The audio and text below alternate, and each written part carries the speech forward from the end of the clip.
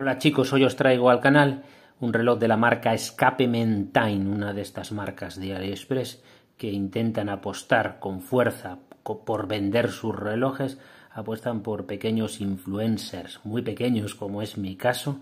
En este caso vi que algunos compañeros de YouTube habían traído este reloj y les contacté y rápidamente llegamos al acuerdo de que me iban a enviar un reloj sin ningún tipo de hacerte perder el tiempo. Ellos quieren vender y ofrecen un producto muy honesto a un precio muy ajustado que en determinadas épocas del año bajará, se quedará en 60 euros más o menos, aunque el precio de partida son 85 euros en este momento, pero perfectamente este reloj dentro de un tiempo lo podéis comprar por a lo mejor 65, 60 euros, que es un precio más que honesto. Es un reloj muy bien terminado, un reloj tipo Flieger, tipo 2, eh, un acabado más o menos estéril, un reloj que está muy bien terminado.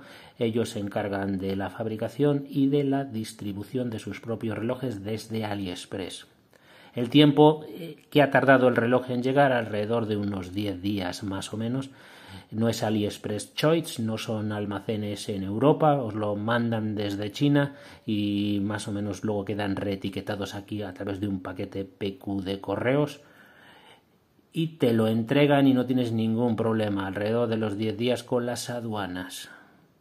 Esta es la presentación del producto, una simple pegatina ahí, escape Mentine, una caja de lo más genérico, no se han gastado absolutamente un céntimo en el empaquetado del reloj. El reloj viene muy bien protegido y todo este tipo de detalles, todo se lo han gastado en el reloj. Finísimamente trabajada la caja y nos colocan un calibre millota de cuarzo de calidad. Así nos viene el reloj, no venía ningún tipo de etiquetas, no venía más, ningún tipo de instrucciones. Para esto no necesitamos instrucciones. Este es un reloj estéril, un reloj genérico muy bien construido donde todo está pensado para que todo el mundo gane, se lleve un reloj que no lleva ningún tipo de marca ni de característica que defina que este reloj pueda ser chino, que no pueda ser original. Es un reloj pensado para que todo el mundo absolutamente tenga una ganancia con la compra del reloj. Vosotros porque os lleváis un reloj a un buen precio y ellos porque fabrican productos que se pueden vender bajo cualquier circunstancia. Esto bajo cualquier circunstancia va a ser un reloj que va a quedar muy elegante en tu muñeca.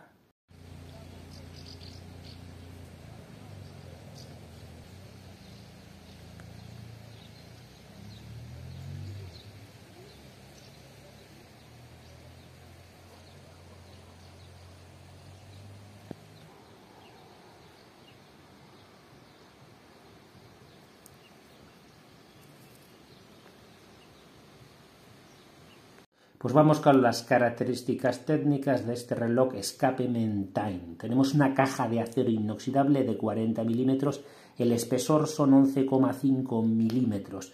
La caja es finamente cepillada. Tenemos una corona tallada casi de tipo cebolla y dos pulsadores del crono que son de acero inoxidable. La pulsera es de piel engomada por el interior que huele a cuero natural, bien pespunteada de 20 milímetros con pasadores de apertura fácil. Tenemos un dial negro tipo Flieger con números arábigos y una pirámide a las 12. Los índices y los números son pintados y llevan lumen switch BGW9. Tenemos los minutos del crono en una subesfera grande colocada a las 9. No tenemos segundero. La aguja son los segundos del crono, es decir, la trotadora para un calibre Mecaquar Millota 6S21, que es el que lleva este reloj, que utiliza una batería SR927W. La batería dura 3 años y nos da más menos 20 segundos por mes. Se recomienda sobre estos calibres darles una vuelta completa cada dos semanas se les debe de hacer trabajar de vez en cuando pues para que tengan un mantenimiento adecuado y no den fallos. Tenemos cristal de zafiro plano, las agujas son similares al tipo lanza, la tapa trasera es roscada con una serigrafía bastante delicada de una avioneta, eh, la tapa trasera es de acero inoxidable, tenemos un bisel fijo cepillado más finamente aún que el resto de la caja y el precio del reloj en AliExpress son 83,96 euros. Voy a dejar el link en la descripción y en el primer comentario fijado. Flieger es un tipo distintivo de relojes de piloto alemanes que se originaron durante la Segunda Guerra Mundial. Para abreviar, eran los relojes estándares que la Luftwaffe usaba y que solo eran fabricados por cinco marcas, entre ellas Laco, Stowa y IWC. Existían dos configuraciones, el tipo A y el tipo B. El tipo A tiene un diseño limpio solo con las marcas de la hora y el tipo B un diseño más complicado donde se presenta un anillo exterior que muestra los minutos así como muestra las horas en su parte interior. Los originales tenían el enorme tamaño de 55 milímetros para que los pilotos viesen las horas sin quitar las manos de los mandos de la avioneta. La corona de cebolla facilitaba la carga incluso con guantes. Por último, los Flieger tienen un triángulo a las 12. Por tanto, a día de hoy son relojes de uso cotidiano de tamaños más amigables, diseños libres que puede usar cualquier marca, como en este caso Escape Mentine.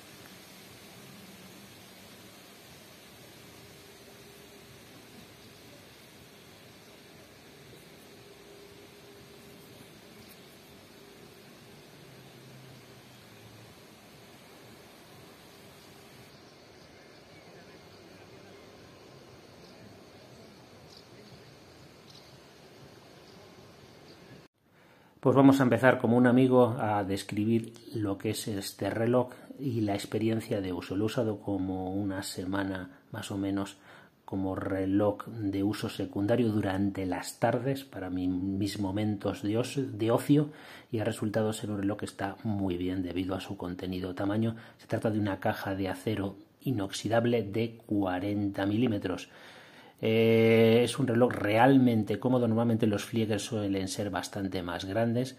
Como podéis ver, es acero inoxidable, 40 milímetros, eh, totalmente cepillado por todas las partes del reloj, por unas partes un poquito más cepilladas que en otras. Los postes también vienen cepillados, como podéis ver.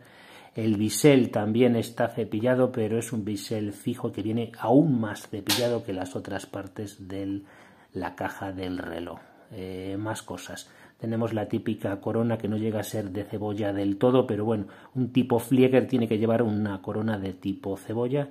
Es una corona bastante pequeña, bastante contenida, que no hace tope en ningún momento en lo que es la muñeca. Eh, viene finamente tallada, como podéis ver. Tenemos dos pulsadores, los pulsadores del crono en acero inoxidable, ahí los podéis ver todo viene muy cepilladito, un reloj que está muy bien fabricado, reloj tipo estéril de estos que hay tantas marcas en AliExpress, de tantas fábricas que venden directamente sus propios relojes. Y en este caso la marca nos contactó. Después de haberla contactado nosotros lógicamente y no hubo ningún problema para que eh, nos mandasen un reloj como muestra al canal, como donación, para que le hiciésemos un revisado y la, la, marca pues fuese más conocida. Es un diseño totalmente honesto debido a que los diseños de los relojes Flieger son totalmente libres a día de hoy y todas las marcas llevan este tipo de diseños. No hay ningún problema moral con comprar este tipo de relojes. Relojes estériles. Aquí no pone ninguna marca, no imita a nadie y lo puede diseñar cualquiera. Hasta Viceroy tiene un tipo Flieger como este reloj, así que no hay problema ninguno. Como veis, tenemos seguramente sea el Flieger tipo B. En este caso tenemos los minutos de la hora por la parte exterior. En un anillo interior vendría lo que son los números arábigos, que no están todos porque tenemos que dejar espacio para lo que sería a las 9 la subesfera de lo que serían los minutos del crono. El reloj no tiene segundero. Es bastante curioso este hecho. Normalmente los Flieger que todos conocemos pues son todos estos Parnis, todos estos relojes de marcas eh, por ejemplo ya de lujo tipo Laco, tipo Stowa pero bueno, estos que se suelen ver por AliExpress, pues ya sabéis, Parnis, Corgeut, en una parte del vídeo habéis visto varios, simplemente están puestos para que dar un poquito de color a lo que es el, el vídeo, porque lo importante en una colaboración es mostrar el reloj, no sacar relojes de otras marcas. Ahí le he dado un poquito de color a lo que es el vídeo, en esa explicación sobre los relojes Flieger. Tenemos agujas tipo lanza y la aguja de la trotadora del reloj, ahí la tenemos colocada a las 12, eso simplemente son los minutos del crono. Los números arábigos están pintados y con una especie de superluminova, algo así parecido. Ellos ya lo he comentado en la descripción qué tipo de lumen es, es un lumen bastante potente. Si os fijáis muchísimo bajo la luz solar, se ve que algún número no está perfectísimamente diseñado, pero bueno, hay que mirarlo con lupa lo que es eh, las terminaciones de este dial, de este reloj tan bonito y que es un reloj que está muy bien por su contenido tamaño. Eh, más cosas sobre reloj, tenemos una pirámide invertida como todos los Flieger colocada ahí a las 12 y más cosas. Tenemos una pulsera, una pulsera de piel de buena calidad, una pulsera que huele a piel, que huele a cuero. Por la parte interna de la pulsera pues viene como engomada. Es una pulsera que es muy suave que viene con buenos pespuntes como podéis ver.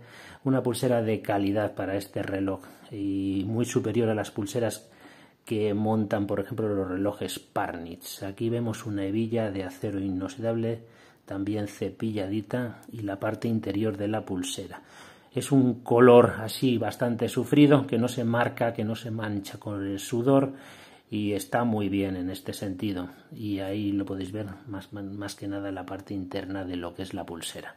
Ahora vamos con la tapa trasera. Tenemos una tapa trasera roscada de acero inoxidable. Esto hace, facilita con muchísimo lo que es el mantenimiento de este reloj. Este reloj no tiene por qué visitar un relojero en la vida porque metemos la herramienta y lo abrimos y no deberíamos de tener ningún problema. Acero inoxidable. La parte del medio es una serigrafía, una especie como de pegatina y colocada bastante delicada.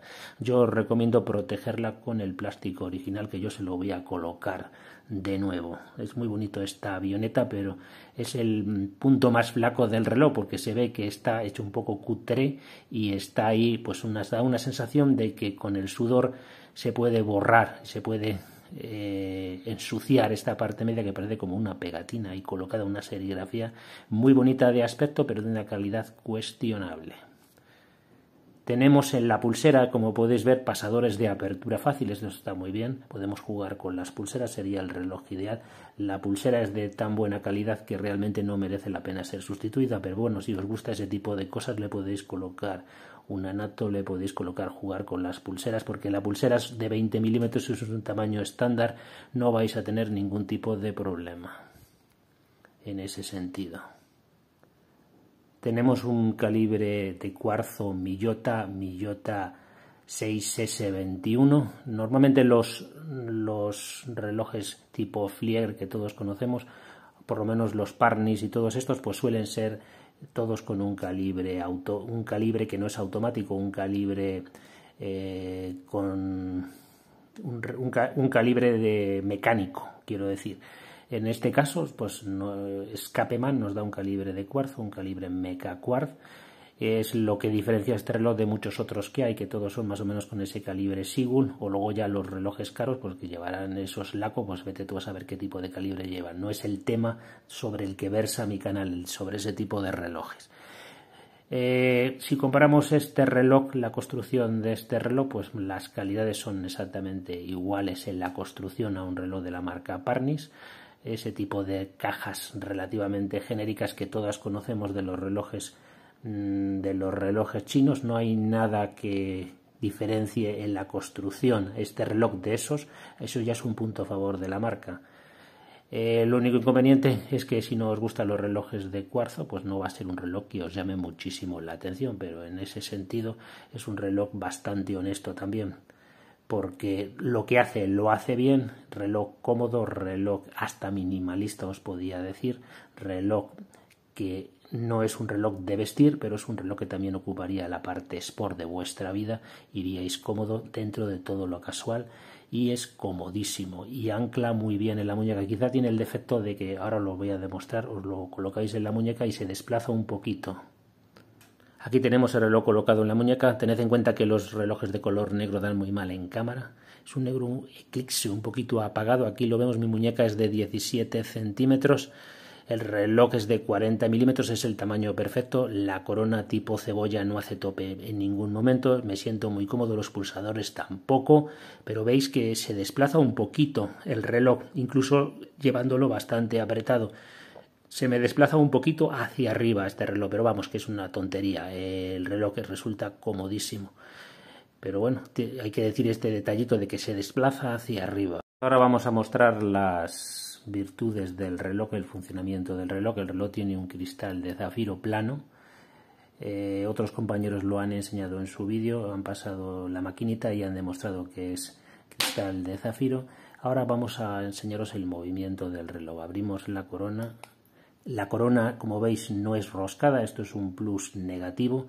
El reloj pues, va a ser resistente a 50 metros solamente. Vamos a cuadrarlo a las 12. La presión de agujas está muy bien. Agujas tipo lanza, algo similar, lo cuadramos a las 12 y nos queda perfectamente cuadrado. No tenemos segundero en otros tipos Flieger, por ejemplo los Parnis, pues tenemos ahí a las 9 lo que sería una esfera con los segundos. Tampoco es algo realmente importante, no creo que eh, sea algo decisivo a la hora de comprarse este reloj. Lo vamos a desajustar un poco para mostraros el funcionamiento del crono. Es un calibre Meca Quartz. Vamos a darle al crono. Con el de arriba encendemos y apagamos, con el de abajo reseteamos. Ya he dicho en una parte del vídeo que es bueno de vez en cuando que haga una vuelta completa lo que es el segundero por el conjunto total del dial. Esta trotadora debe caminar a lo largo de todo el dial del reloj por lo menos una vez cada 15 días o una vez al mes, pero por completo. Si no, estos relojes suelen dar algunos fallos. Bueno, pues vamos a apagar con el de arriba y con el de abajo reseteamos. Y aquí vendría el efecto Mecacuar. Ahí lo tenemos. Ahí. Sin ningún problema. Nos ha cuadrado perfectamente. Ahí tenéis el lumen del reloj, una verdadera locura, que es de lo mejor que tiene este reloj, ahí lo veis. Esto compensa pequeños, pequeños defectos que podemos encontrar en el reloj. El reloj cuesta 86 euros. Eh, podéis pensar que es un precio un poquito elevado, pero bueno, los precios en AliExpress oscilan, hay cupones y este reloj perfectamente a lo mejor lo podéis comprar dentro de un tipo por 60 euros. Por 80 euros me parece un precio bastante justo para lo que nos ofrece esta marca una marca que realmente tiene mucho interés en vender y fue facilísima la negociación con ellos.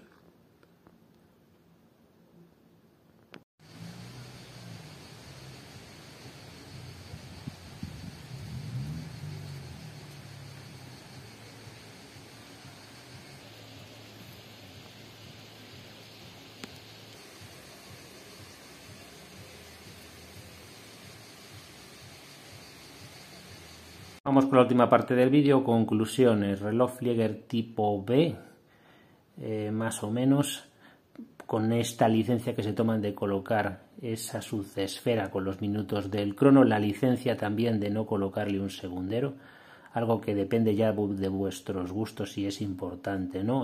o no, en mi caso no es algo importante, nos dan la tipa, típica eh, corona tipo cebolla, aunque la han personalizado, la han disminuido de tamaño, le han dado un toque personal y le han colocado los pulsadores del crono a un reloj que en teoría debería de ser mecánico. Nos dan una pulsera de calidad, como podéis ver, muy superior a la de un reloj Parnis, súper suave, nada corriosa como esas pulseras Luego también tenemos los pasadores de apertura fácil como algo importante. Tenemos una tapa trasera muy fácil de abrir. El defecto de esta serigrafía muy bonita pero algo cutre si lo aprecias muy de cerca porque es muy frágil y se puede ensuciar o se puede incluso hasta retirar porque parece hasta una pegatina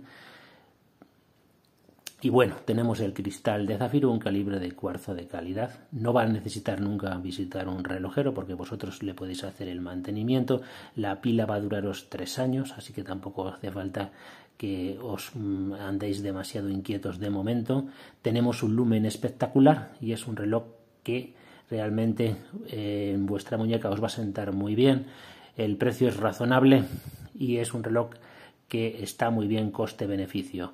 En este momento ha llegado el momento de pediros que os suscribáis al canal, deis en la campanita de like, comentad lo que queráis, vamos a despedir el vídeo. El vídeo os doy las gracias y nos vemos próximamente. Un saludo amigos.